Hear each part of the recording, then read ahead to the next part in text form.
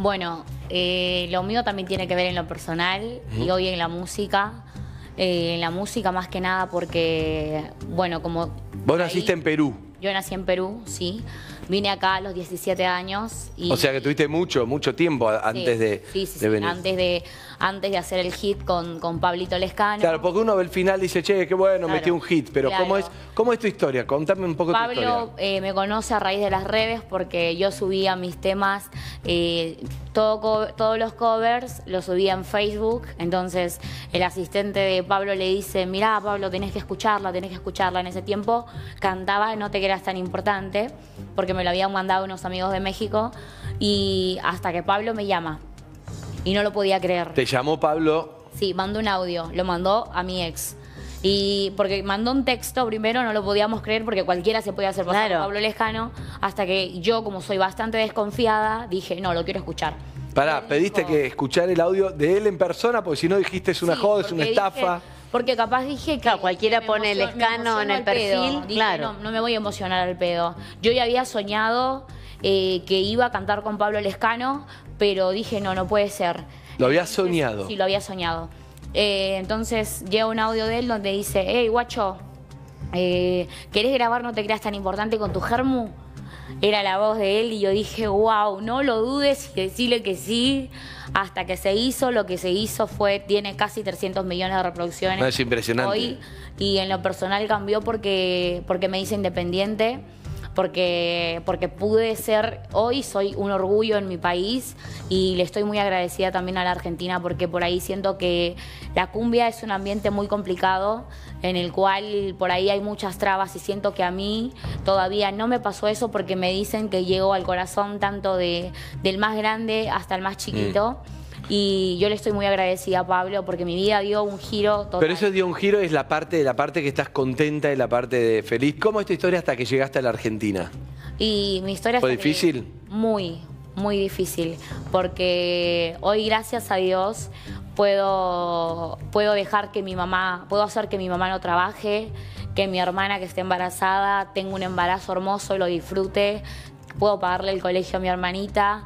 Eh, y puedo darle la, la calidad de vida que yo no tuve, nunca me faltó nada, pero a mis hijos, tengo dos hijos, que hoy les puedo dar todo lo que ellos se merecen. Si bien es cierto, este ambiente hace de que no pase mucho tiempo con ellos porque tengo que viajar mucho, tengo que cantar, tengo que dormir. Un porque- hijo lo tuviste a los 15, ¿no? Sí, mi primera hija lo tuve a los 15 para los 16. Tuve a Camila en enero y el 5 de febrero cumplí 16 años. Y bueno, cuando... Es difícil también Es ser una madre adolescente. Más que nada cuando perteneces a una familia autoritaria. Yo pertenecía a una familia autoritaria en Perú que pensé que por ahí eh, salir de mi casa y embarazarme era lo mejor, pero no sabía que me metía en la boca del lobo. ¿Por qué? ¿Qué quiere decir una familia autoritaria? Eh, familia autoritaria que primero es el hombre, segundo es el hombre, tercero es el hombre, tienes que cocinar, darle de comer a tu marido antes de tu hijo, eh, ¿Quién tienes te que sacarle decía los eso? pantalones a tu mi abuelo, que se lo escuchaba que lo decía mi abuela, bueno, mi ex suegra que también, acordate, Joana, que la primera, la primera comida tiene que ser para tu esposo. Y venía mi familia a visitarme, porque yo vivía en la casa de mis ex suegros y venía mi familia a visitarme. tan chiquitita. Sí. Y aún tremendo, así, sí. Y bueno, eh, Pero ¿puedo hacer una pregunta? Sí, claro. ¿Te, te casaste enamorada o te, o te- o te forzaron a casarte? yo no me casé. Bueno, me fui porque digo, ¿te ya está- me fui cansada de, de- de tanto maltrato. Por eso es que, o sea, yo soy feminista. Me volví feminista no porque quise, sino porque vi tanta violencia. Sufriste mucho el, Su- el machismo. y- y- ¿Pero vos te criaste con tus abuelos? Sí, me, me crié con mi, con mi mamita. Con la mamá de mi papá, con los padres de mi papá. Es justamente él donde él, se vuelve muy autoritario él. Y, Con tu abuela. Sí. Y es por eso que. ¿Violento o violento, autoritario? mal. Ah. Le pegaba, le, Ah. le sacó todos los dientes. Y, y es muy complicado porque mi abuela tiene, me parece, como cuatro años que no puede volver a la casa porque él, eh, él amenaza que, que si vuelve la mata. Y O sea, eso está pasando hoy. hoy, hoy. sí. Hoy por hoy. ¿Y no hay denuncias sobre eso Hay de tu denuncias, padre? pero si no tienes plata en Perú no, no, no hacen nada. Y mi abuelo, muchas veces he sido, he sido, he sido partícipe de que llegó la policía y él salía y decía, ¿y ustedes quiénes son? Esta es mi casa y acá mando yo. Claro. Decía él. Es normal, Y es los normal eso. se iban. los ¿Es normal eso en, en- Perú, sé en si todo en lo que vos veías de la gente? No, yo no sé. no, no, no es normal, no está pero bien, está pero digo, si, digamos, si estaba Claro, naturalizado. Claro, yo era chica, yo era chica y obviamente no podía decir nada porque Claro. yo estoy, eh, estaba criada a la autoritaria. Abres la boca, chirlo. O, o- o todo era eso, mi abuelo o era insulto, era maltrato y quizás por ahí hoy este programa lo va a ver mucha familia de mi país.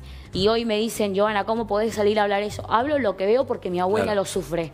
Y Bien. porque me dice, hijita, tú sigue cantando, sigue cantando, no te preocupes por mí porque la abuela está bien. Bien. Mi mamita, porque no le gusta que le digan abuela. Decís tu porque mi mamita. mamita está bien. Y bueno, hoy me superé, soy el orgullo para mi país. Eh, hay muchísima gente acá en la Argentina que me hace el aguante. Hoy que me hice solista también con este tema de la mejor versión de mí, gracias a la ayuda de Pablo Lescano, que nos está yendo. Bien, bien, bien, bien, bien, tranquila, tranquila, arranca, arranca, arranca ya. Y nada, me Arranca. emocioné porque Sí, me acuerdo sí, sí. de hace siete años que no voy a Perú. Y no la veo y, y cada vez que ella me habla y, y la escucho que sufre por él, me parte el alma. Sí, claro. Pero bueno, le dije, algún día yo voy a ser muy grande y te voy a comprar tu casa para que no dependas de, de- para que no dependas de él y no le ruegues. Y no le ruegues que Y tiene va a que ser volver. así, Sí. y va a ser así. Es Trae a la mamita mucho. para acá, la traes a la mamita para acá. Que, Ya que se viaje el viejo choto que quede ahí. Claro, eso, yo quiero decir lo mismo. Y no va a viajar acá, pero No estás comprarle una casa enorme, la traes a la mamita para acá, la cuidamos entre todos, mi ¿Viste amor. cómo son los abuelos? Yo le digo, quédese a vivir acá. ¿Y? Claro, ¿y? No, yo me quiero morir en mi casa. Bueno, Claro, que está bien, tam- bueno, también. Está bien. Ah, bien, esa es bien, la- Vamos a arreglar, tranquila, tranquila. Y bueno, tranquila. así. Está bien, Gracias pero Dios, falta hoy- poco. Pero igual, después de toda esta historia que acabamos de escuchar, Pero esto se replica en un montón de hogares, lamentablemente, Totalmente. acá en Argentina No, y en no. un montón de países, ¿no? no solo eso, sino que igualmente eh, Joana está arrancando y también está bueno saber eso, no decirte dónde uno viene con sufrimiento, pero como, como empezaba esta pregunta, que era, te das vuelta, miras tu vida y decís, está bien, pero estoy donde quiero estar, lo, lo has logrado y arrancando. Te costó, pero Sí, lo, me lo costó un lograste. montonazo. Bien, Sí. bien. Bienvenida, PH. Gracias.